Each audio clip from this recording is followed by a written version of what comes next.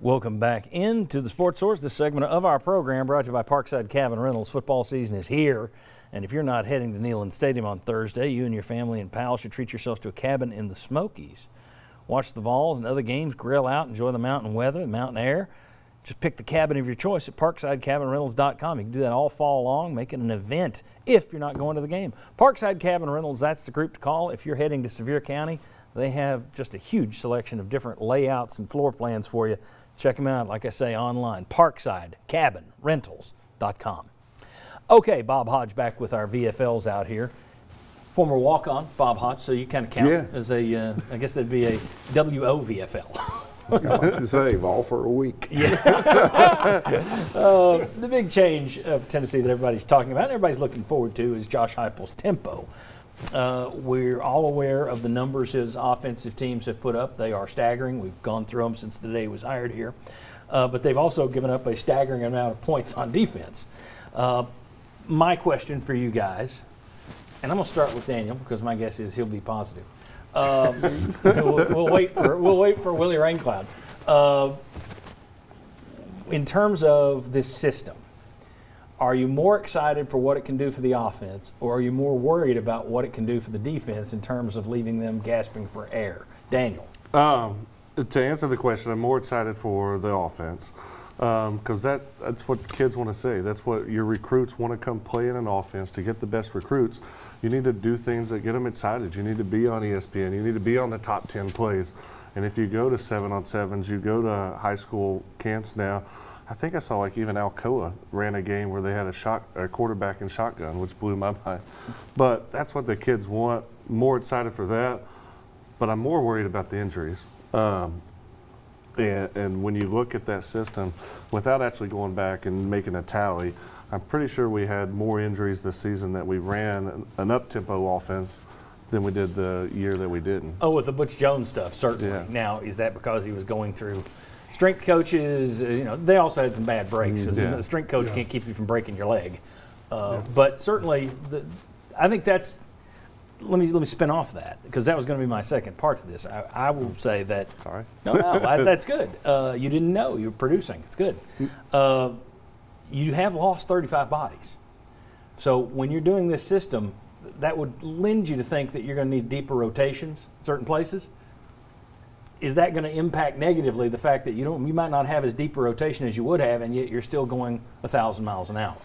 I, I think it's going to, because I remember that year. I mean, there was uh, two weeks, two or three weeks out of the season, and, and I'd say watch Will's face when I say this, but we had two to three weeks. We did not practice in full pads during the middle of the season. Like we had to tape the pads off to keep from getting injured.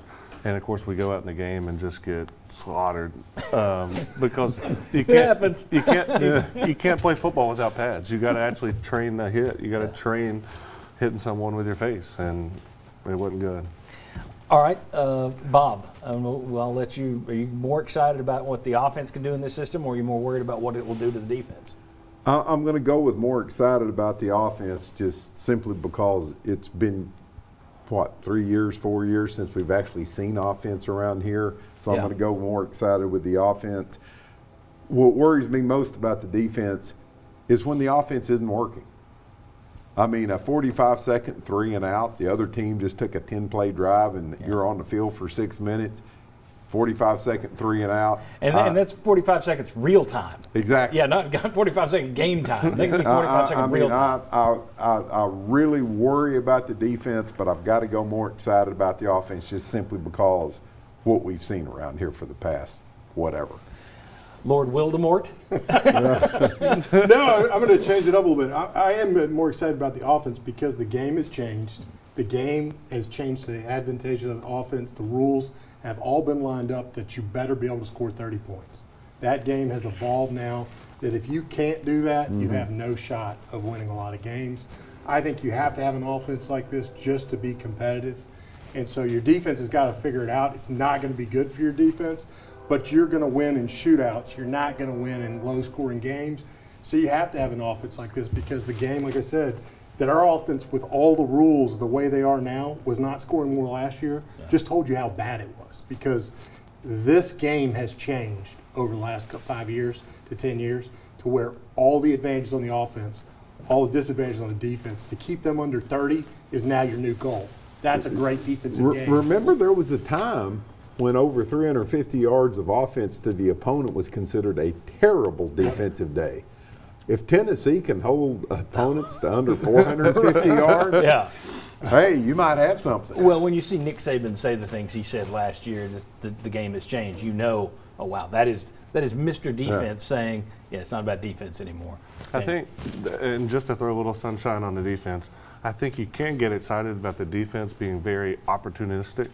Um, even under just Josh Heupel's career, he's averaged two to two and a half turnovers a game, which is really good. You're going to get defensive linemen that get to pass rush a lot more. And so you should get to see some more sacks, more interceptions, and things like that. You're just going to have to suffer through giving up 30, 40 yard plays as well. I'm I'm more excited about the offense than I am worried about the defense. Not that I'm not worried about the defense, but I'm more excited for the offense. And this also goes back to my level. Are you excited or blah for the start of the season? Kind of excited because I have to put my money where my mouth is. I've long thought that Tennessee, in the position it's in, cannot afford to keep going out and getting guys who, well, we're going to take four years and out recruit Alabama and out recruit Georgia. You're, you're not good enough to do that. When they went out on this coaching search, we did a thing at the YP board, and I said, I want to see somebody that can scheme it up. You got to get somebody who can win with X's and O's before you get the Jimmies and Joes. I know you want the Jimmies and Joes, and if you scheme it up and you start winning, maybe you get those guys. But right now, I'm excited that they have somebody who, on paper and whose history suggests X's and O's, that's his thing. So I'm excited about that because I think you have a better shot. Could be wrong, but I think you have a better shot long term of getting back to mediocrity. and Yeah. you're not there yet. I think you have a better shot getting back to mediocrity if you've got a guy like a Steve Spurrier who can say, I don't need the most talent. I can just figure out a way to generate points than if you sit there and have a Jeremy Pruitt who's talking about needing 25 new guys. I don't think that's the solution. So I'm excited about it. When we come back, as is typical this time of year, there's growing talk about Tennessee having more talent than anyone thinks. There's a lot of talent over there. Hidden talent. How talented can you be when you've lost as many bodies as Tennessee has lost? We'll discuss that next. Come on back on the Sports.